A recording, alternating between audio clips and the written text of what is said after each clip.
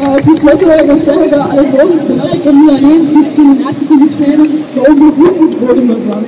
Uh, tekorten, ellende, armoede en precariëring is. Terwijl dat, ja, als er voldoende sociale woningen zijn, Antifascista! Alerta! Alerta! Antifascista! Alerta! Alerta! Antifascista! Alerta! Alerta! Antifascista! Graag een warm applaus voor Ties van Langenhoven.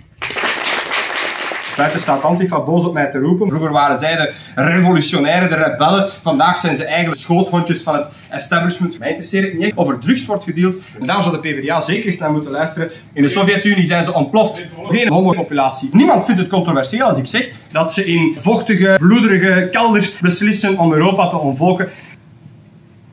Laten we de science eens vertrouwen, want Afrikanen zijn betere lange afstandslopers. Joden zijn in sommige dingen nog veel beter. Vooruit, Giscon Rousseau, die, eh, eh, ja, ik ga mij onthouden van commentaar wat dat betreft. Eh, Racisme zit in het DNA van de Vlamingen. We moeten racisme met de wortel uitroeien. Volgens mij kunnen we het dan alleen maar oplossen met een genocide. Oh, dat heb ik absoluut niet gezegd. Die draait wel weer gewoon met de wind. Ik spring nog liever naakt in de Schelde. En dat zullen dan misschien de linkse graag horen hier, de mensen op Ladeuzeplein. Tot daar mijn inleiding.